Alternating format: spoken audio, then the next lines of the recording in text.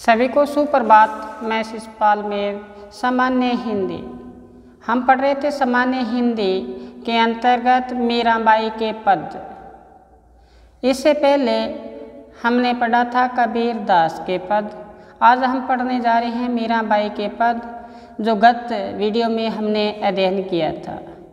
बताया था कि राम नाम रस पीजे मनवा, राम नाम रस पीजे, तज कुसंग सत्संग बैठी, हरि चर्चा सुन लीजिए, काम क्रोध मद लोभ को चित्त से बहाए दीजिए, राम नाम रस पीजे मनवा, राम नाम रस पीजे मीरा के प्रभु गिरधर नागर तां के रंग में बीजे मीरा बाई अपने आराध्य श्री कृष्ण जी को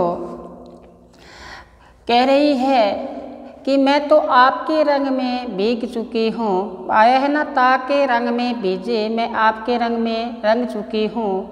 कहते हैं, राम नाम रस पीजे, आपको राम का नाम का रस का पान करना है।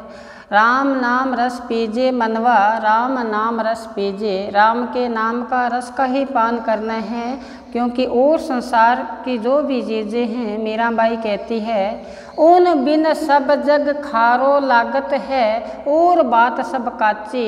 कहते हैं, श्री कृष्ण जी के बिना संसार सब खारापन लगता है, और बात सब कच्ची है। तो कहते हैं, राम का नाम का रस का पान करना है। तो क्या बताया, किस प्रकार से होगा? कहते हैं, तज कुसंग कुसंग का संग छोड़ देना है और कहाँ बैठना है? सत्संग बैठी, सत्संग में बैठे और हरी चर्चा सुन लीजिए। ईश्वर की, प्रभु के नाम की चर्चा सुननी है और कोई कार्य नहीं करना, ये कार्य करना है। हरि की चर्चा को सुनना है। ये बात कही है मीरा बाई ने। कहते हैं, कुसंग का साथ छोड़ देना है। हमें अच्छी अच्छी बातों को ग्रहण करना है। मीरा कहते हैं, बुरी चीज़ों को हमें ध्यान में नहीं लाना। सार सार को गही थोता दे उड़ाए। सार वस्तु लेनी है थोती वस्तु को पास में नहीं जाना। वही यहाँ बताइए, तज कुसंग, हमें कुसंग का त्याग करना है। सत्संग में बैठना है बैठ कर क्या करना है? हरि के गुण का गान करना है। फिर बताया कि हमारे जो ये काम क्रोध मद लोभ अहंकार ये शत्रु है, ये दुश्मन है, इसका निवारण करते हुए कहते चित्त से, मन से इसको भगा देना है। हृदय है, वो निर्मल पाक करना है, पवित्र करना है। तो कि मीरा ने कहा कि मीरा के प्रभु गिरधर नागर, मेरे श्री कृष्ण जी गिरधर नागर है, कहते ताके संग में बीजे मैं उनके रंग में रंगी गई हूँ।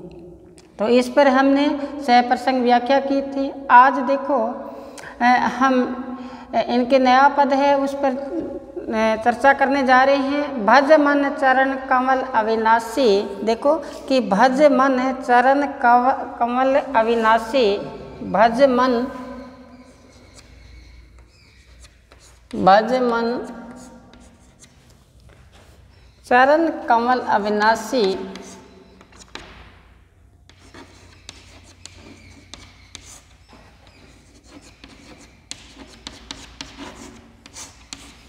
मीरा कहती है, भज मन चरण कमल अविनाशी, जीते दिशे धरनी।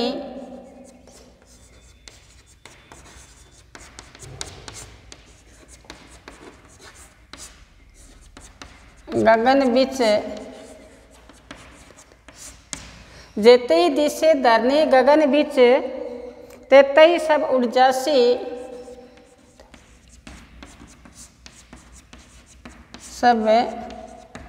सब उर्जासी। बज मन चरण कमल अविनाशी। मीरा कहती है कि उन चरण रूपी कमलों का ही ध्यान देना है अविनाशी पुरुष का। ईश्वर के चरण कमलों का ही ध्यान देना है और ध्यान देना ही नहीं है। और संसार के जो इन आँखों से हम देखते हैं, ये सब नाशवान वस्तु है।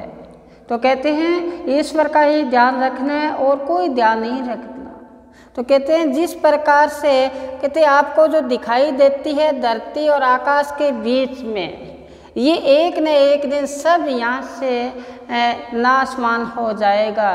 एक न एक दिन यहाँ से फना हो जाएगा। देख, देखो, मीरा ने क्या कहा है? कहते हैं, जेते ही दिशे धरनी गगन बिच, तेते ही उड़ जासी जो आपको ये प्रलोभन देने वाली वस्तुएँ दिखाई दे रही है, जिसके विषय विकारों में आप पड़े हो। ये एक न एक दिन यहाँ से आपको यहाँ से कूच करना पड़ेगा, आपको यहाँ से जाना पड़ेगा। तो ये संसार की वस्तुएँ आपके काम की नहीं है। तो कहते हैं, आपको एक ही कार्य करना है, चरण कमल अविनाशी, उनके चरणों के चरण रूपी कमल है, उनका ही निवास स्थान बनाओ, और सब चीज़ें हैं, वो नासमान है। प्रभु का नाम, प्रभु का सिमरण प्रभु का जाप, ये है जो आपके सार वस्तु है। ये मीरा ने यहाँ कहा है, भज मन, चरण कमल अविनाशी, हमें सचेत करती हुई मीरा ने ये बात कही है, क्योंकि संसार में कहते हैं, आपको लो, प्रलोभन देने वाली जितने भी वस्तुएँ हैं, ये एक न एक दिन यहाँ से चली जाना है। गुरबानी में भी एक पंक्ति आती है कूड़ राजा कूड़ प्रजा कूड़ सब संसार। कहते हैं, राजा भी कूड़ है, प्रजा भी कूड़ है। संसार सारा कूड़ का पसारा है। क्या बताया कि किस नाल के जे दोस्ती, सब जग चलन हार। कहते हैं, दोस्ती का लायक भी यहाँ कोई नहीं है, वो भी यहाँ से एक न एक दिन सब चले जाएँगे। तो यहाँ दोस्ती करनी है तो किससे करनी है? चरण कावल अविनाशी। श्री कृष्ण जी के चरण रूपी कमल है, जो अविनाशी पुरुष है। उनसे प्रेम पालो। कहते हैं धरती और गगन के बीच में जो भी आपको दिखाई दे रहा है, वो एक न एक दिन यहाँ से उड़ जासी, यानी यहाँ से चला जाएगा। आगे देखो, इस देही का गर्भ न करना। इस देही का गर्भ ना करना। इस देही का गर्भ न करना माटी में मिल जासी। माटी में मिल जासी। कहते हैं कि आपने जो देह धारण कर रखी है, इस देह धारण करने पर आपको अहंकार नहीं करना है कि मैं इतना रूपवान हूँ। मैं इतना धन, बलशाली हूँ, मैं इतना धनवान हूँ। इस बात का अहंकार नहीं करना है। देखो कि रूप जिसको यौवन पर घमंड है, जिसको रूप सौंदर्य पर घमंड है, जैसे बुढ़ापा आया तो अपना जो रूप सौंदर्य है, वो दर्पण में देखना, मुँह देखना पसंद नहीं करता। बुढ़ापे में अपने चेहरे पे झुर्रियाँ पड़ जाती है तो अपना चेहरा है, वो दर्पण में देखना पसंद नहीं करते। तो किस बात का गर्व है? तो कहते हैं, इस देह का गर्व नहीं करना। इस देह है जो शरीर है, इसका कभी अहंकार नहीं करना है। ये बात कही है मीराबाई ने। माटी में मिल जासी आखिर जब इंसान मृत्यु को प्राप्त होगा तो इसको मिट्टी में मिलना पड़ेगा। देखो, बाद में इसको कहाँ मिट्टी में दफनाया जाएगा या अग्नि के सपुर्द किया जाएगा? तो कहते हैं, इस देह का गर्व न करना, इस देह जो मिली है, ये देह बहुत कीमती है। इसको सही दिशा में इसे काम लेना था। हम देह पालने पालने में रहेंगे देखो, घोड़े को खिलाते हैं, उससे काम भी लेते हैं। हमने इस देह को पालने पालने में रहेंगे मीरा कहती है, इस देह का गुमान नहीं करना है। इस देह में बैठकर हमें क्या करना है प्रभु का नाम का गान करना है। आगे तीसरी, चौथी पंक्ति में क्या बताया है? देखो, यो संसार चहर की बारी, यो संसार चहर की बारी यह संसार चहर की बारी साँझ पड़िया उड़जासी पड़िया उड़ जासी। आगे पंक्ति देखें। कहाँ बेयो बगवा पहरिया? कहाँ बेयो बगवा पहनया? पहनया। घर तज भय सन्यासी। घर तज व्यय सन्यासी। भज मन चरण कवल अविनाशी। जोगी हुई जुगत नहीं जाने। जोगी होए। जुगत नहीं जाने।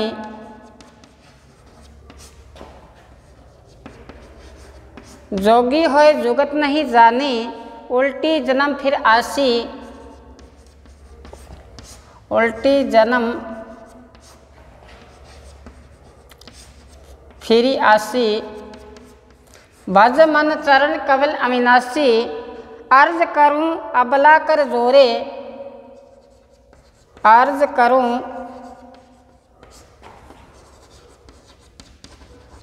अबला कर जोरे।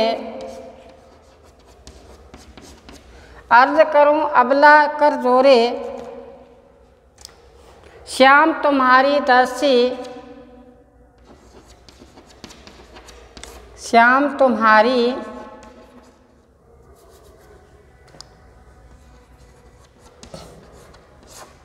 दासी अंतिम पंक्ति देखो, मीरा के प्रभु गिरधर नाकर मीरा के प्रभु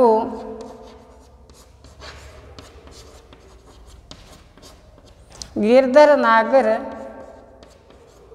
मीरा के प्रभु गिरधर नागर, काटो जन्म, जम की फांसी, काटो जम की फांसी।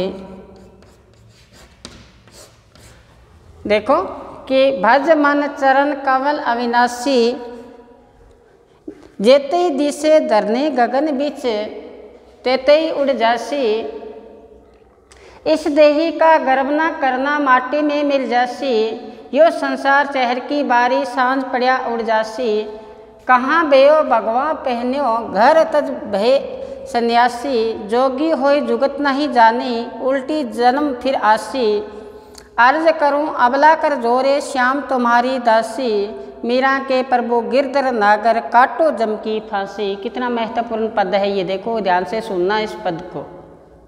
और एक ऐसा प्रतिबिंब बन जाना चाहिए आपके मस्तिष्क में कि हमने कौन सा पढ़ा। भजमन चरण कावल अविनाशी। तो आपको जो भी करवाया जा रहा है, वो आपको ध्यान में होना चाहिए।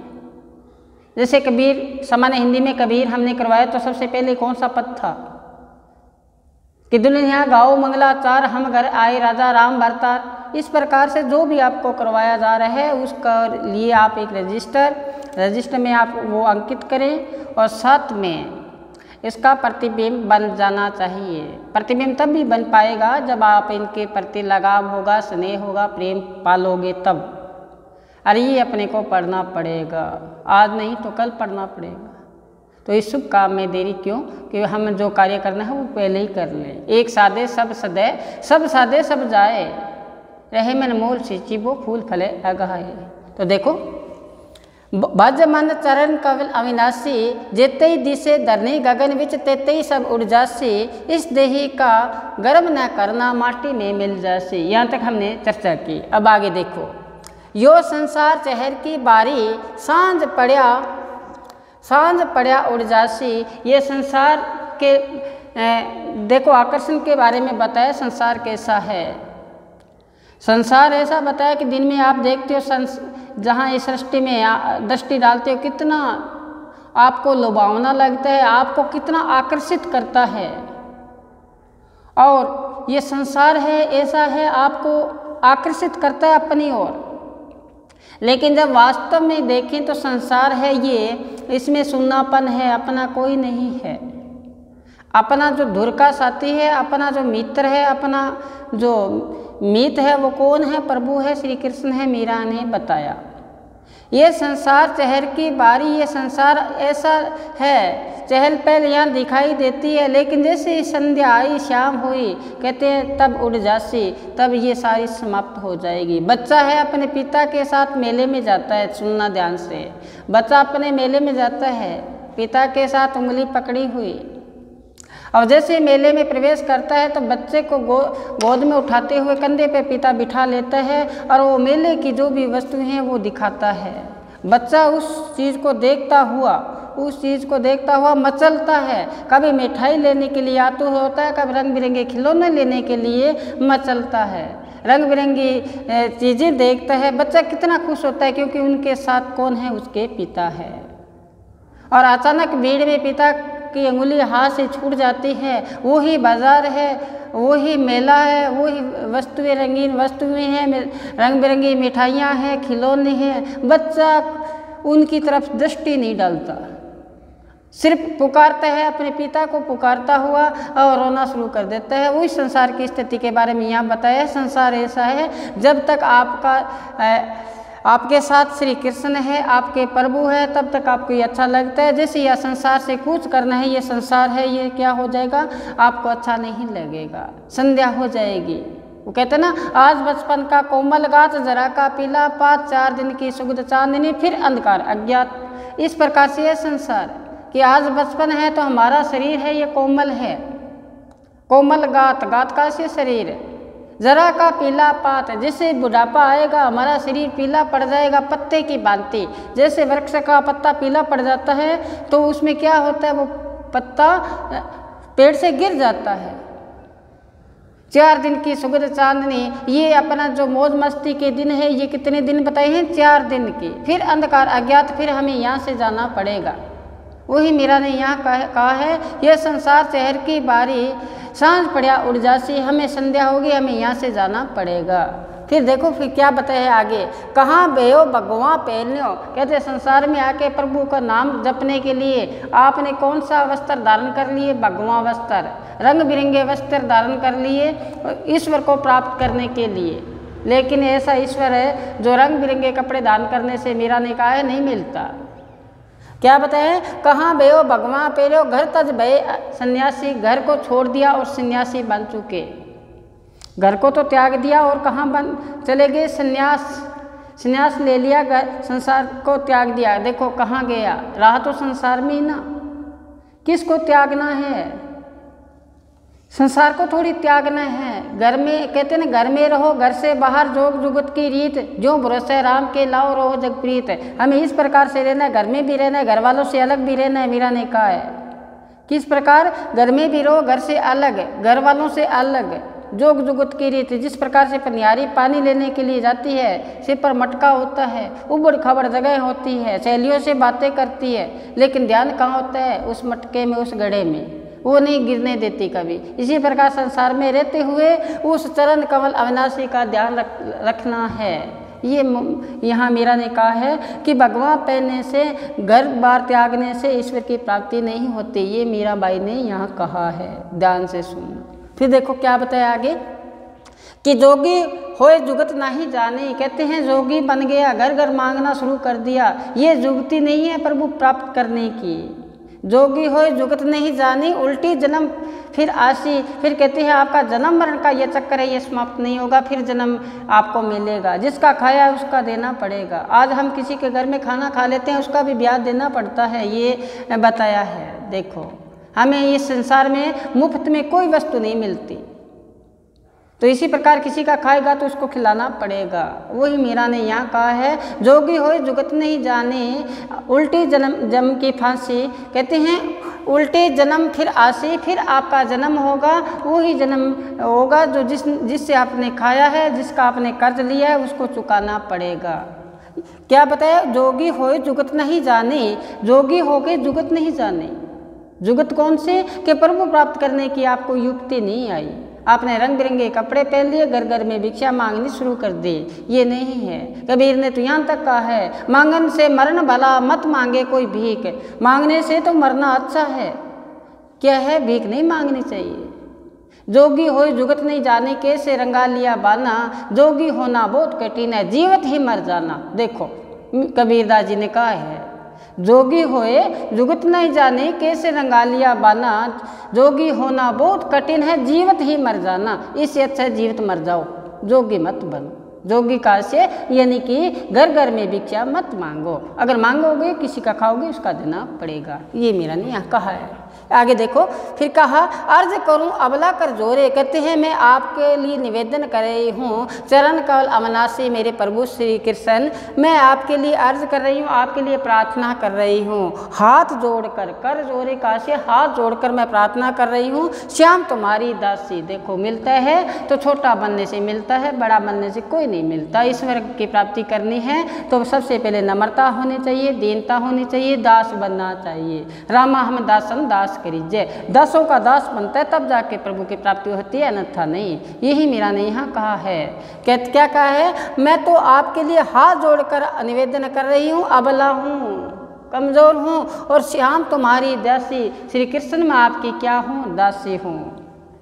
मीरा के प्रभु गिरधर नागर काटो जम की फांसी। कहते हैं कि मेरे तो आप गिरधर नागर हो। जम रूपी जो फांसी मेरे है, आज इस जन्म में आगामी फिर जन्म मिल, मिलता रहेगा। इस जन्म की जो फांसी है, इसको काट दो। क्योंकि जिस जिस में हमारा ध्यान होता है, वहीं हमारा जन्म होता है। ये अपने गुरुनानक साहब जी ने कहा है। कहते हैं, अंतकाल जो अंतकाल जो लक्ष्मी से मेरे ऐसी चिंता में जो मेरे सर्प जो बल बल उतरे। यानी कि अगर धन में ध्यान रहा तो हमें कहाँ जन्म होगा? हम सर्प बन जाएँगे। अगर पुत्रों की तरफ़ ध्यान हुआ तो कहाँ जन्म लेंगे? सुअर का जन्म लेंगे। क्या बताया? अंतकाल जो लड़के से मेरे ऐसी चिंता में जो मरे तो सुअर जो बल बल उतरे, सुअर देखो बच्चे बच्चे घूम रहे हैं पीछे, सुअर के जन्म मिलता है। अंतकाल जो कहते हैं अंतकाल जो, मंदिर से मेरे ऐसी चिंता में जो मरे, प्रेत जो बल बल उतरे। कहते हैं, अंत समय में घर में ख्याल रहा, मैंने इतना बड़ा महल बनाया, आज मैं इसको छोड़ के जा रहा हूँ, ध्यान वहाँ रहा। तो कहते हैं, प्रेत की जो नहीं मिलती है घर घर में क्या पितर बनते हैं फिर। ये कहा है। ये तो इसी प्रकार मीरा ने यहाँ कहा, कहते मेरे ये जो जन्मों जन्मों का जो चक्कर है, इस अवागमन चक्कर को आप मिटा दो और मेरे को जन्म रूपी जो फांसी लगी हुई है, इसको मिटा दो। कौन मिटाएगा? श्री कृष्ण। तो ये पद था कि भज मन चरण कमल अविनाशी। कहते हैं, आपको किसका ध्यान देना है? श्री कृष्ण जी के चरण रूपी कमलों पर ही ध्यान देना है। और आगे बताया जेते ही जिसे धरने गगन बीच तेते ही उड़ जासी, जो आपको इस धरा के बीच, आकाश और धरा के बीच में जो भी दिखाई देते हैं, वो सब एक एक दिन यहाँ से चले जाना है। फिर देखो आगे, इस देह का गर्व ना करना, इस देह का कभी आपको अहंकार नहीं करना है, क्योंकि ये तो माटी में मिल जाती यानी कि मिट्टी में मिल जाना है। ये संसार जो आपको प्रलोभन दे रहा है, आपको आकर्षित कर रहा है, ये जैसी संध्याई साँझ हुई, इसमें ये सब, उसमें विलीन हो जाएगा। यानी अंधेरे में विलीन हो जाएगा। फिर कहते हैं, परमात्मा को प्राप्त करने के लिए आपको भगवे कपड़े पहनने और आपने घर को त्याग दिया, सन्यासी बन गए। कहते हैं, ये आपने जोगी तो हो गए, लेकिन जुगत नहीं जानी आपने। और उल्टी जन्म, फिर आसी फिर आपका जन्म का ये चक्कर है, ये कभी मिटा नहीं। ये आवागमन का चक्कर आगे से आगे चलता रहा। आज इस जन्म में है, अच्छे क्रम के फिर जन्म आगे। आगे फिर बताए हैं, अर्ज़ करूँ, अबला कर जोरे, में हाथ जोड़कर निवेदन कर रही हूँ श्याम। और क्या बताए तुम्हारी दासी, मैं आपकी क्या हूँ, दासी हूँ। फिर मीरा ने नीचे लिखा है, लास्ट पंक्ति में, मीरा के प्रभु गिरजन नागर काटो जम की फांसी। आप तो मेरे जन्मों रूपी जो फांसी है, इसका निवारण करो। इसको मिटाओ, आवागमन का चक्र से मिटाओ। मुझे आप में ही मेरे को क्या करो, समाहित करो। तो ये पद था। आगामी जो पद है, देखो, आगामी हम वीडियो में पढ़ेंगे कि दर्शन बिन दुखन लागे नैन। दर्श बिन दुखन लागे नैन, जब से प्रभु बिछड़े कबू न पायो चैन। फिर बताया कि कल की परत पग मग जब जोवत छवि छह मासी रेन, मीरा के प्रभु कब मिलोगे? कहते हैं कि दुख में टन सुख देन। और फिर बताया है कि मैंने राम नाम रत सॉरी मैंने राम रतन धन पायो, मैंने राम रतन धन पायो, जिसको पाए सुख दुख बोलियो मन आनंद समायो। जिसके चोरी कबू न होए, ऐसो रतन धन पायो। खर्चो लाख खत्म नहीं होए, दिन दिन बड़ सवायो। मीरा के गिरधर नागर हर्षी हर्ष जस गायो। इसको आगामी वीडियो में हम चर्चा करेंगे। एक वीडियो इसके लिए और बनेगा। उस वीडियो में हम मीराबाई के जो पद है, उनको पढ़ने के प्रयास करेंगे। आसान आसान पद है, बड़ा ही मीठे मीठे पद है इनके। आप ध्यान से सुनो, ध्यान से, समझो इन बातों को। तो हमारे एग्ज़ाम में भी व्याख्या पूछी जा सकती है। महत्वपूर्ण व्याख्या है ये। एग्ज़ाम में व्याख्या मीरा की आएगी तो इस प्रकार से आपको व्याख्या आएगी जो आठ अंक की होगी जिसमें हमने इन, इनका हिंदी अनुवाद करना है। तो क्या बताया? मूल संदेश क्या दिया गया ये आपको मैंने बताया। आज यहीं हम विराम देते हैं। आगामी वीडियो में फिर हम मीराबाई के पदों के साथ हाजिर होंगे। तब तक आप घर पर रहें सुरक्षित रहें पढ़ते रहें। धन्यवाद।